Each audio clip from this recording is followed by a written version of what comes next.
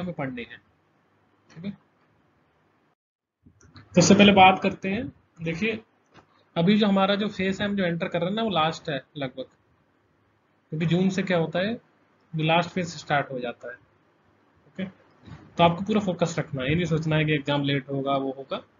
क्योंकि most probably जो exam है, वो सेप्टेम्बर कराने की कोशिश करेंगे वो लोग। बिकॉज़ थर्ड वेव अक्टूबर में आ सकती है, इसलिए वो लोग जल्दी से जल्दी एग्ज़ाम फिनिश करना चाहते हैं।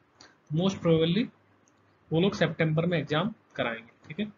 तो वो सब चीज़ें मत रखिए कि अभी एग्ज़ाम नहीं है तो अभी अभी क्यों पढ़ना ओके दूसरा इंपॉर्टेंट थिंग जो है वो है ये कि हम लोग ये सोचते ना कि सर मेरे से नहीं हो पाएगा नेक्स्ट डे ट्राई करूँगी। देखिए, ऐसा कुछ नहीं है ओके ओके सो ऐसा कुछ नहीं है।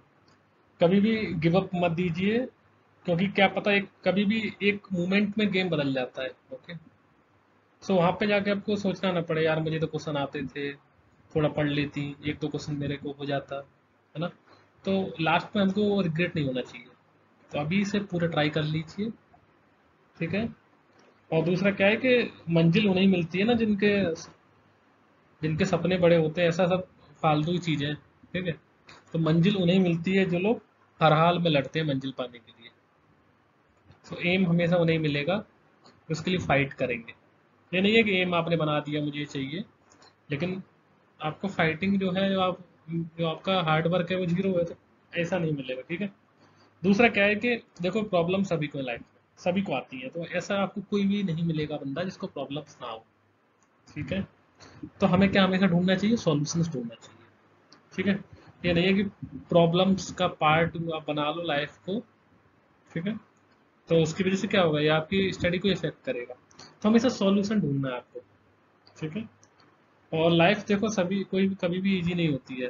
तो डिपेंड करता है कि हम लोग उसको कैसे बनाते हैं ठीक है? तो टाइम सभी के पास आया। सेम टाइम आपके पास भी सेम सभी के पास है। सो वे ऑफ़ स्टडी यहाँ पे मैटर करता है सो so, सब लोग सोचते ना कि सर वो बारह घंटे पढ़ रहा है चौदह घंटे पढ़ रहा है कोई मैटर नहीं करता है ठीक है? सो so, मैंने केवल सिक्स आवर स्टडी किया था। Six hour. खुद बता रहा हूँ, सिक्स आवर स्टडी किया था, लेकिन मेरा जो था वो अच्छा कंपाइल्ड वे में स्टडी था। कंपाइल्ड इन द सेंस कि मुझे पता था कि ये टॉपिक्स मुझे करने हैं पहले। मतलब मैं ज़्यादा की तरफ़ नहीं भागा था कि मुझे रैंक वन के ऊपर ही भागना है। पहले मैंने सेफ़ जोन के लिए ट्राई किया था सबसे पहले। सेफ़ जोन कैसे आना है मुझे? सेफ़ जोन मतलब कि मैं स्टडी कर रहा हूँ तो मुझे कोई सीट यहाँ से मिल जाए। गवर्नमेंट कॉलेज उसके बाद थोड़ा अंदर जाइए। ठीक है? उसी हिसाब से। ये नहीं है कि आपको सीधे आप रेस लगाई आपने। ठीक है, ये क्या मैराथन है। पंद्रह किलोमीटर की रेस में क्या सोचते हैं हम लोग? बहुत फास्ट भागते हैं। स्टार्टिंग में हम लोग इतने स्पीड में भागेंगे कि हम लोग सोचेंगे कि आज ही खत्म कर देंगे। सेम आप लोग। स्टडी करते हैं तो दो दिन करेंगे। चरक संहिता पढ़ा, आज आज आज बारह घंटे पढ़ा। कल फोर्टीन आवर में स्टडी की। अगले दिन दो आवर रह जाती है। क्योंकि दो दिन जोश रहता है, उसके बाद खत्म हो जाता है। तो बोला ना, ये मैराथन है। ठीक है? उसको कंटिन्यू मेंटेन करना है, आपको जितना कर सकते हो उतना करना है। ये नहीं कि आज ज़्यादा उधर, कल कम। फिर क्या वो सब बैकअप हो गया, वो एवरेज हो गया फिर वो। ठीक है? इम्पोर्टेंट चीज़ जो है कि आप लोगों को, जो सभी लोग स्टडी कर रहे हैं, ठीक है? कोचिंग से आप नोट्स देखे होंगे, सभी के बुक्स में देखे होंगे। इसका मतलब क्या, सभी लोग वो पढ़ रहे हैं तो पहले आपको सब याद रखना है, जो सब पढ़ रहे हैं, क्योंकि हमारा कंपटीशन अपने आप से नहीं है। हमारा कंपटीशन दूसरों से है। तो कम से कम इतनी तो प्रिपरेशन हो जाए कि जो वो लोग पढ़ रहे हैं, उनमें हम गलती ना करें। उसके बाद होती है हमारी प्रिपरेशन स्टार्ट ठीक है? जो रैंक होती है ना वन से फाइव हंड्रेड वही डिसाइड करती है। मतलब हमने क्या, थोड़ा अलग पढ़ा।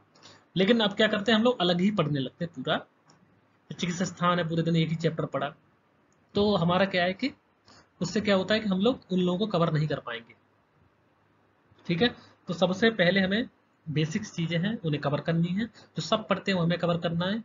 ठीक है? उनमें अगर गलती नहीं करना है हमें उनमें गलती नहीं करोगे तो फाइट में आ जाओगे।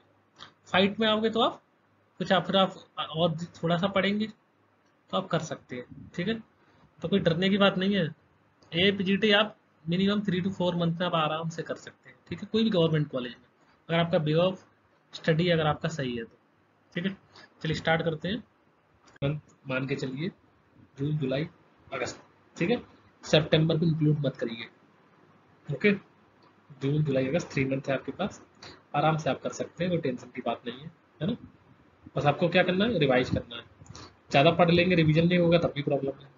ठीक है? तो ए तो देखो इजी है। अब डिपेंड करता है कि आप उसको किस वे में ले रहे हैं।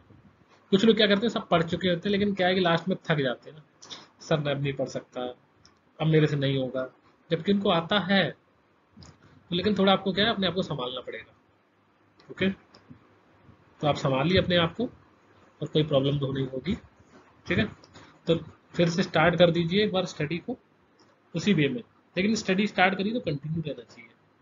कंटिन्यूटी बहुत इंपॉर्टेंट है। ठीक है? बाकी देखो पढ़ तो आपने लिए ही है तो आपको दिक्कत नहीं होगी दोबारा से रिवाइज करने में। ओके सो so, अब आपको क्या करना है? बिनर की तरफ़ पढ़ना है। ओके सो so, आसान है बाकी कोई डाउट है तो हमसे पूछिए। और कभी भी मत सोचिए कि मैं लूजर हूँ या मैं लूज कर दूँगा, कभी नहीं। ठीक है? तो जब तक लास्ट देखो हमेशा बिनर कब डिसाइड होता है? बिनर हमेशा डिसाइड होता है जब वो रेस फिनिश हो जाती है। उससे पहले कोई भी विनर बन सकता है। ठीक है? ज़रूरी नहीं है। ठीक है? क्योंकि जो पहले से डिसाइड वही विनर बनेगा। तो विनर हमेशा बनेगा जो जो रेस में लास्ट में जीतेगा। ठीक है? रेस चल रही है। ठीक है? स्पीड आप कभी भी अप कर सकते हैं। ओके? और अगर आप रेस में मतलब पिछड़ गए तो आप ये नहीं सोचे कि मैं विनर नहीं बनूँगा मैं रेस ही खत्म करते ठीक है?